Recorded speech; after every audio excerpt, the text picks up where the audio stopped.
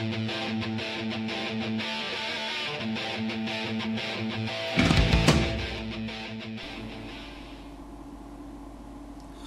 guys, welcome back. It's UK here. Um, earlier today, I watched a vid from uh, the Outsiders uh, 68, uh, aka Sean Connors, um, with regards to dice rolling. Um, where he talks about rolling the dice out in the open or behind the screen. Um, I have always been of the point of view that GM should roll his dice behind the screen.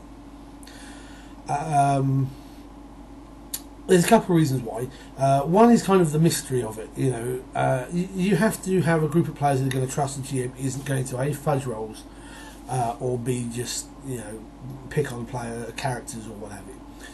Um, but there's the mystery because you don't know what's rolled, you don't know what the GM's doing behind that screen. Sometimes the GM just rolls a dice for no reason, you know. Um, and the second thing I think is is also tied into the mystery element, but it's uh, I think I suppose I would put it down to uh, a part of metagaming. Uh, for example, let's have this, uh, this particular thing. You're uh, running the game and you're running combat the GM rolls the dice behind the screen and says something along the lines of, and the Orc Chieftain swings his battle axe at um, Ashen's uh, neck, hoping to decapitate him, but at the last moment, Ashen raises his shield and deflects the axe, allowing him a chance to strike back uh, at the Orc. You roll the dice, you know, and you've the uh, GM has found to hit. But you've put it into the description now you have the same thing, exactly the same description, but you roll the dice in the open, and you know. Uh, whereas before the players went, "Whew, that was lucky." Now they go, "You rolled six. That's nowhere near my armor class. Not a problem." Plus, we know he's only got a plus three bonus.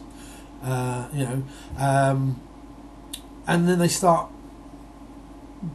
uh, adapting because they know the modifiers. It's why I also keep armor classes uh, secret. Let the players work them out through their rolls.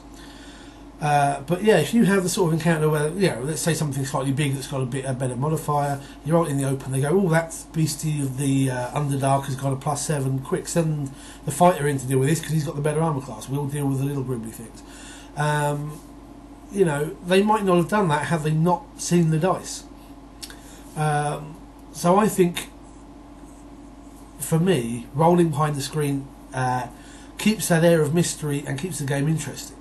Um, and uh, causes, you know, eventually players are going to work out, as I said, because they're going to work out through their own rolls what armour classes, and they're going to work out for themselves how um, uh, easier is difficult it is for the monsters to hit them.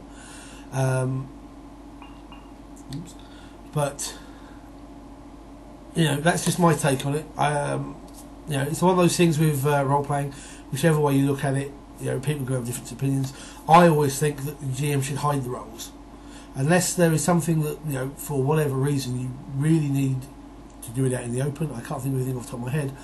Then all rolls should be hidden from the players. They don't need to see the GM's rolls. Anyway, that's just my thought on it.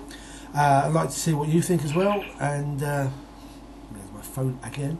Uh, and uh, check out Sean's video. And uh, until next time, take care. Good gaming.